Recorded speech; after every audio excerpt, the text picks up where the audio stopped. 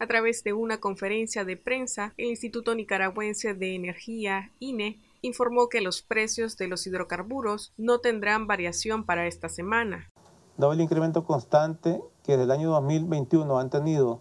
los precios internacionales del petróleo y sus derivados, los cuales afectan las economías de todos los países, pensando siempre en el apoyo a las familias nicaragüenses y en las diversas actividades que realiza nuestro pueblo relacionadas con la producción, el transporte colectivo y las diversas actividades económicas del país, han instruido al Ministerio de Energía y Minas y al Instituto Nicaragüense de Energía informar a las familias nicaragüenses que para la próxima semana, que va del 18 al 24 de junio de 2023, de acuerdo con los precios internacionales de los derivados del petróleo, los ajustes que se requieran no serán aplicados, manteniéndose los precios locales de los combustibles, gasolinas y diésel sin variación para beneficio de las familias nicaragüenses. En cuanto al gas licuado de petróleo, principal combustible que usan los hogares nicaragüenses para la preparación de alimentos, nuestro gobierno de reconciliación y unidad nacional garantizará que se mantengan los mismos precios sin ningún ajuste,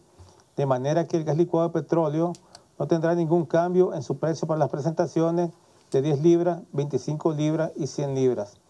Es preocupación constante de la Presidencia de la República el impacto que estos precios tienen en la economía familiar